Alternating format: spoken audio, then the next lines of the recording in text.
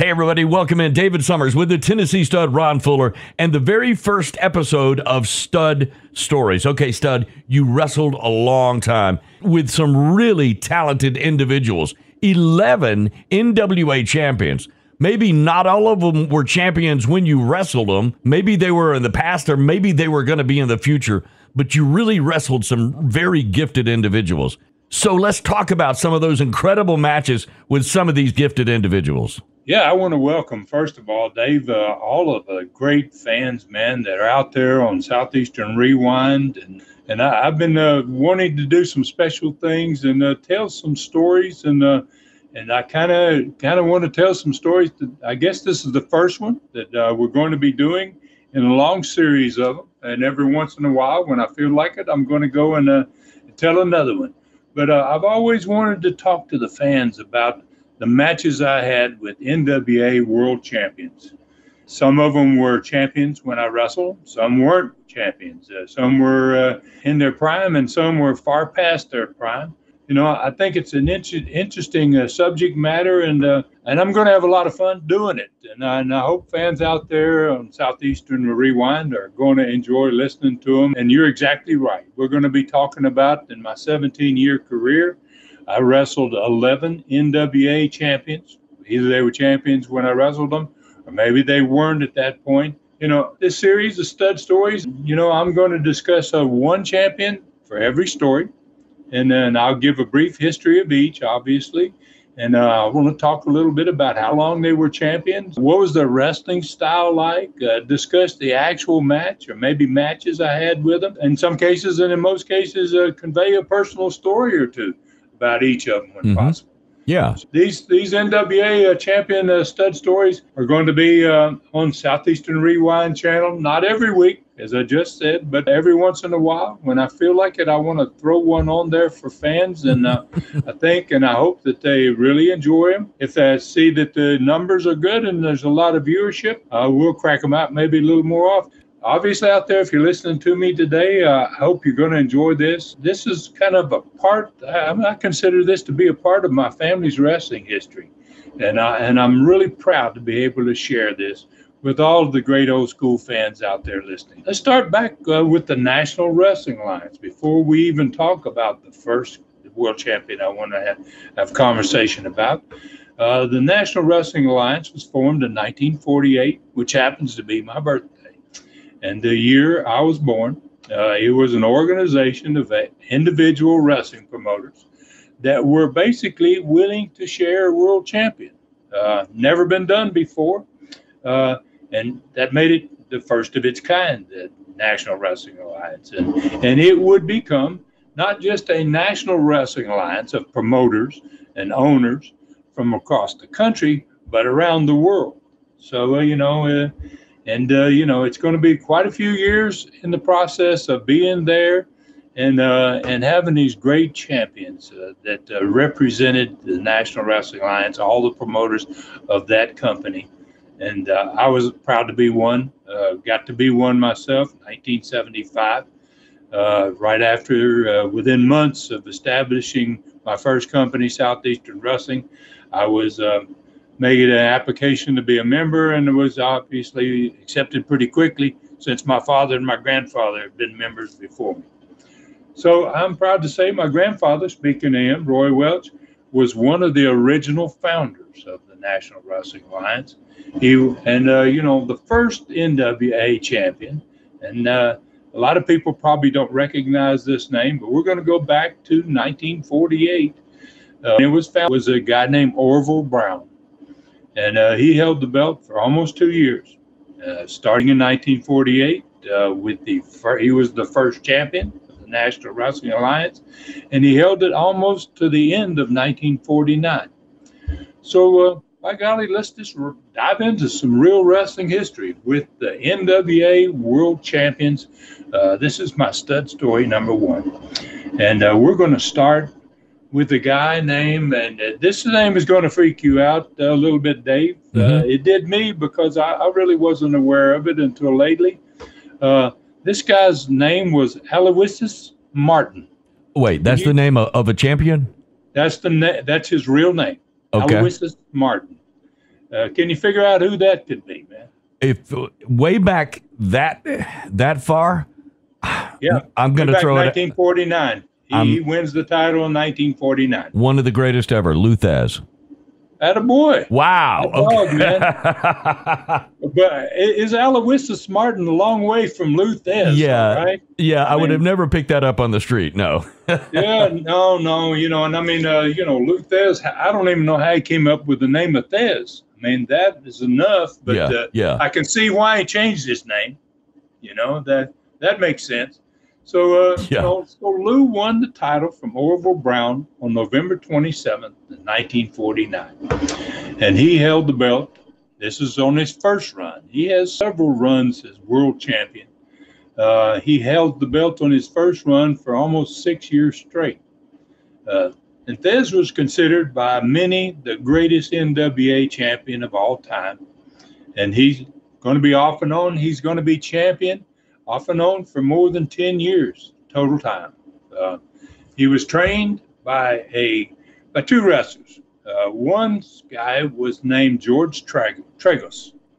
Uh, he was a very much feared uh, freestyle Greek wrestler, and uh, way way back in the day. Obviously, this is uh, this is back in the it, actually before the 1930s. You know, uh, so Tragos was around, and and uh, and then there was another one named Ray Steele. Uh, both of these guys were kind of in St. Louis area, in the St. Louis area, and uh, so uh, they trained him uh, in freestyle. Uh, Tragos uh, trained him in some shooting. Uh, Ray Steele more in in the professional style, and they trained him for about four years, man, which is pretty long time to be trained before you ever get a shot in the ring. Hmm, wow. That's kind of similar to my grandfather Roy in his uh, dealings with with uh, the great the great the great old timer out there in the in the West, the Dutch Mantell, the original Dutch Mantell. Hmm. So so so uh, um, Lou has his first professional match in 1932. So you guess the other one pretty good. How old do you figure he was uh, in his first professional match? I would, I mean, I would have to say he was in his 20s, but I, I don't know if that adds up. Uh, he was 16 years old. Are you kidding? Wow. 16 years old when he got in the ring in St. Louis uh, in 1930. Just a boy. Okay. Yeah. Just a boy. yeah. Just a boy, but uh, gosh, a really talented, obviously, boy to be able for a professional company to put him in the ring at that point. So, and as a pro, uh, he got managed by one of the best wrestlers of all time, one of the best professionals of all time, Ed Strangler Lewis, who was uh, just a phenomenal wrestler, phenomenal athlete, a big, huge guy for back in his time frame in the 20s, a huge star in the 20s uh, and into the 30s. And uh, he managed and he helped train uh, some, especially once Lou became a professional.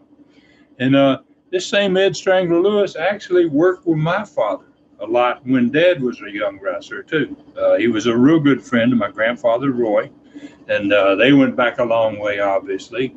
So uh, you know, uh, Lou's getting the training by some tremendous talent, that's for sure. And now he's being managed as a young pro by maybe the greatest wrestler of all time, or one of the greatest, and uh, and uh, who was a big time manager for many many years after he was no longer able to wrestle, and that was uh, the great Ed Strangler Lewis. And uh, during Lou's illustrious career, you know, he wrestled at least 11 members of my family alone. And that's a pretty big statement right there, you know, uh, have a big enough family that 11 of them wrestled Lou Thesz in his career. Yeah. Uh, and, uh, you know, I'm going to name off those because I don't always tell a lot about my family members. Some of them's names may not be as familiar as others, but obviously he wrestled Roy. He wrestled against Herb. He wrestled against Roy and Herb's brother, Jack. It was about the same age as Roy and Herb was. Then Lester is the fourth and uh, in that first generation of professional wrestlers, and Lester's about 20 years younger than Roy. Uh, he's actually close to my father's age. So he wrestled uh, the first generation entirely Roy, Herb, Jack, and Lester. Then he wrestled my dad, who was uh, uh, went uh, wrestled his buddy Fuller, obviously, and then he wrestled the three Fields brothers, who were uh, my granddad's uh, sister's children. Okay, and uh, their name was Bobby and Lee and Don Fields, the Fields brothers. Uh, then I wrestled him. Then he wrestled my brother Robert, and then he wrestled my cousin Jimmy. so, uh, and and besides uh, eleven of them uh, being uh, guys that he wrestled, uh, seven of those people I mentioned were owners of territories. So you know we we've been around a long time. Uh, we had a lot of experience in the ring, and a lot of us had experience far beyond just the ring itself. So he was not the NWA champion when I wrestled him. I said that that would be the case for some of these world champions that we're going to be talking about in these stud stories.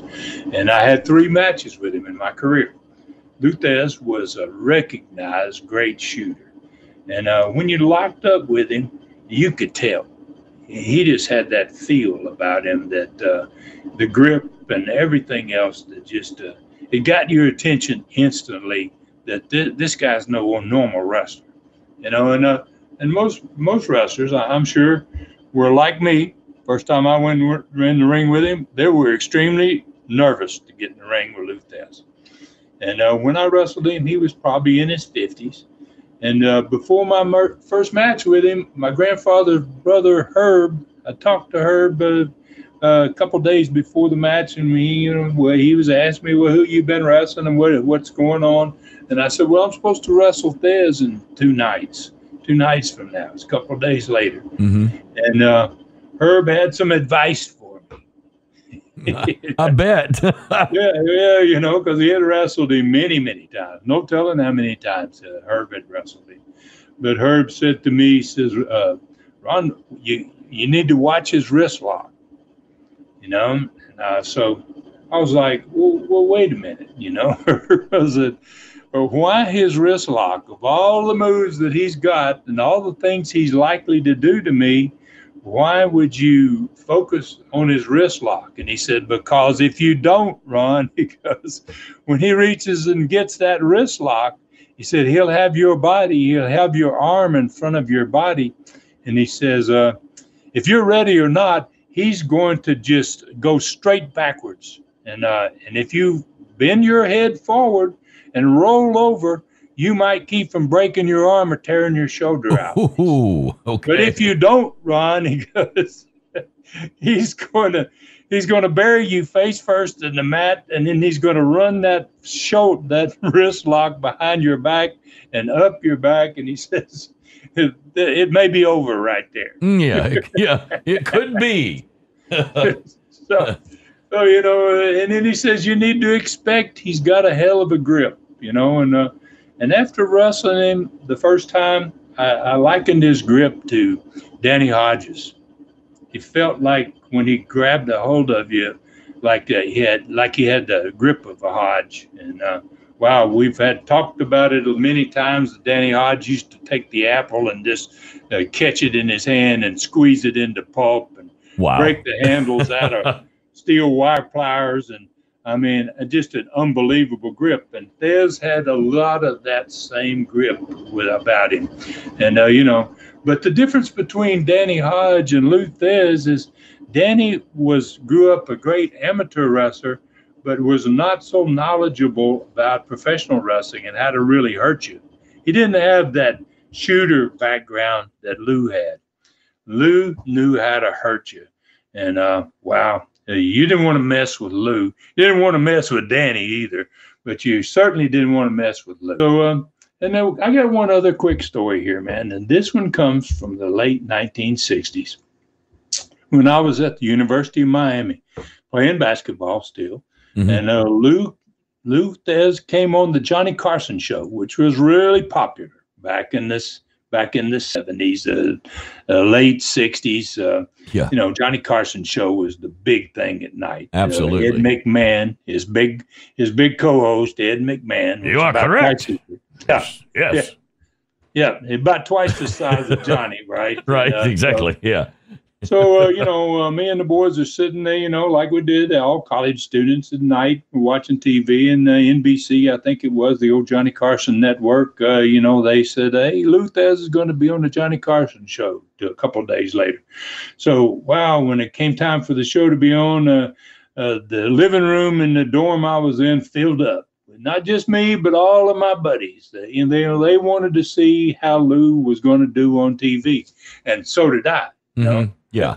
So, you know, so, and uh, you know, I'd met uh, Lou several years earlier uh, through my grandfather. Uh, once with my grandfather, and several times around my dad. And uh, Lou knew who I was, Yeah. but uh, you know, uh, he uh, at this point he was a major, major star in wrestling, and and I was kind of really hoping, man, that old Lou was going to make me proud in front of all my buddies here. You know, that they weren't going to say something or do something to Lou to um, make professional wrestling look bad. Right. And that used to be the thing back in those days. Uh, it, it was kind of common that people thought, oh, it's all a big joke. And uh, so, you know, but Lou had a different whole uh, presence and everything else. People treated him with respect. So I looked it up on Google when I started thinking about this. You know, I thought I want to tell this story about, and it the date of this episode was May 18th, 1968. And it was in my third year of college. hmm And uh, so uh, on this show, uh, uh, Lou was Lou was so classy, man. He dressed great. Uh, he always wore the suits. He had a he just had an aura about him, man. That the believability and. Uh, so you know, he and Johnny had the conversation like they normally do. He sat down at the seat there next to uh, the, to the desk uh, with uh, Carson, and down on the end of the couch was Ed McMahon. It was this, you know, that was the scenario of the old days. And for those fans that saw the Carson show, they know exactly what I'm talking about. And for those that didn't, maybe get a little idea. Johnny Carson's a, a, a tremendous star in Oh, the yeah. country. One, Oh, one yeah. of the biggest names ever, right, Dave? I mean, Yeah, for sure. Yeah. yeah. So uh, you know, and so uh, he has a nice little conversation with Lou, and then you know he says to Lou out of the clear blue, he goes, "Well, you know," he goes, uh, "A lot of people don't really believe wrestling is real," and he goes, uh, "You know, and and they they see you guys pick each other up and slam each other and all that stuff," and he goes, uh, "You know, uh, uh, huh, how about uh, you know uh, I, I wouldn't ask you to slam me you know? He says you know I, I don't weigh very much but he says ed mcmahon there weighs more than 200 pounds and he's a pretty big guy Hey, could you slam ed mcmahon Here it comes. yeah right. yeah. Carson used to do this to poor old Ed McMahon a Yeah. lot. and Ed McMahon obviously starts right away. No, no, no, no, no. Uh, I believe he can do it. You don't have to show me, you know. So uh, anyway, uh, Lou gets up, uh, you know, and he takes off his suit coat and uh, he lays it over the couch. And uh, and McMahon don't want to get up, and Carson, yeah, oh come on, you know Ed, hey, he's not going to slam you, he's not going to drop you, he's just going to pick you up, and uh, you know. So finally, Ed gets up off the couch and uh, and he collude, and uh, so I'm thinking, now you know, uh, I know Lou's strong as heck, you know, but uh, uh, Ed McMahon was a very big guy. Yeah. He was probably six four, Yeah. you know, Yeah. and he probably weighed 250, more like 250 than 200, Yeah. you know. And, uh, you know, I'm thinking, geez, I don't know about this, you know, because uh, if someone knows what you're going to do to them and you're going to try to pick them up to slam them, they have a tendency to back up and throw their weight down toward their rear end. Right. it makes it harder for you to get them up. yeah. They can block it. It's kind of like they, they don't go up there real easy. They kind of block it so that you can't pick them up. It's a natural tendency. And uh, so, so, and I'm wondering now, how's Lou going to deal with this? And so he's talking to Johnny Carson and he's standing face to face with Ed McMahon and he's looking over to Johnny and, uh, and he, he's saying to Johnny, you know, well, you know, he says there, there's a there's a way to do this that's easier than than normal, and you know, he's he's very calm. You don't know he's got anything in mind, and then he's looking at Carson and he looks back at Ed McMahon. And just the second that he looks at him, he reaches over and takes the heel of his hand and he pops Ed McMahon in the forehead like a little tap. Pow. and Ed McMahon's head snaps back a little bit and it throws him off guard and he reaches right in there and he picks him up. Right. He's got him right up in the air. Wow. Ed McMahon is, yeah, I mean, it was like that, just like that. I mean, every one of those boys in that room with me were like, wow, look at that. Jeez. You know, they couldn't believe that he could do it that fast. But, you know, he was a smart dude and mm-hmm. uh, he, he knew how to set McMahon up and uh, he made it look simple. He made it look easy. It was a it was a big night for me. I remember the guys were like, "Gosh, Ron, man, this is pretty. This is amazing, man. Didn't have any idea these guys were this strong." Yeah. yeah. So, uh, you know, a little odd story, you know, but uh, I, it just happened to remember when I was thinking about doing this first one on uh, Lou Thesz. So uh, to finish this up, you know, uh, obviously Lou had a lot of class. Uh, maybe one of the classiest world champions of all time.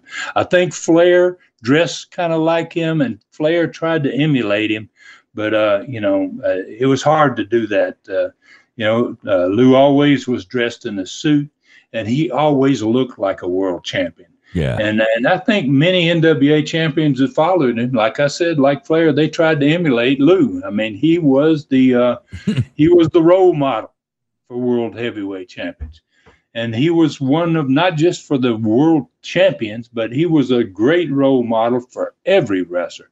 Basically, from about the 1930s all the way into the 1980s, he was still in the ring. Hmm. Yeah, yeah. So he had a tremendously long long career. He was considered to be one of the last true shooters in professional wrestling. Yep. And uh, a lot of people described him as a quintessential athlete, man. I mean, he was basically a polished warrior, man. He could break a guy in two if you pushed him in the wrong direction, if you tried him. Yeah. You know, yeah. it was like, oh, no, you don't want to mess with him, man.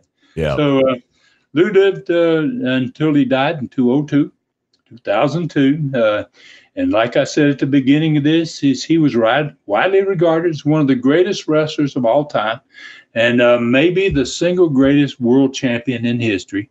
He was the most he was the last accepted world champion in Japan that the people really believed in, you know. And uh, in Japan, he was known as the god of wrestling. That's basically they had a word for it. I couldn't pronounce it, but uh, if you talk if you talk Lou Thesz, uh, they they had the uh, word for Lou, and uh, I asked JoJo, the interpreter over in Japan, when I was there in '83 what is that they're calling Lou Thesz? And he says, the god of wrestling. Whoa. So, uh, and uh, yeah. and he really was. And he went over there and wrestled Rikidozan and uh, some of the greatest wrestlers that Japan had. And obviously, I bet you every time he left there, they had more respect for him than they had when he came. Uh, and he, by himself, probably had more to do with the growth of National Wrestling Alliance than any other wrestler in history. So, uh, you know, Dave, uh, this is the first one, a little stud story, and uh, and I hope everybody out there's enjoyed this story. And uh, and I'm going to do one on all 11 of the NWA World Champions that I had the opportunity to be in the ring with, and uh, each one of them was going to have his own stud story. Cool. And the next one, as a matter of fact, is going to be about a wrestler I wrestled in Southeastern in 1976. He was born in New Zealand his name was Pat O'Connor, and he w- had just as big a part in advancing the popularity of the National Wrestling Alliance World Champion as Lou Thesz did, in my opinion. Uh, Pat O'Connor was a tremendous athlete who uh, actually invented several wrestling moves that will never be forgotten. They're still used today. Uh, one of and they one of them was named after him, called the O'Connor Roll. And uh, it's just uh, you've seen it. People see it in every match. Uh, just about in the old days, uh, sooner or later, in just about all matches, you're going to see that O'Connor roll. So, uh, and he happened to be a personal friend of mine, and one of the guys that really took me under my under his wing, 1973, when I started going to St. Louis and wrestling in the biggest and most uh, famous wrestling city in the in the world. uh, practically every other weekend in 73 and 74. So it's it's uh, Pat O'Connor in the next one, and uh, thank everybody out there uh, for listening. I hope you've enjoyed this uh, stud story, and uh, we got a lot more of them coming in the future.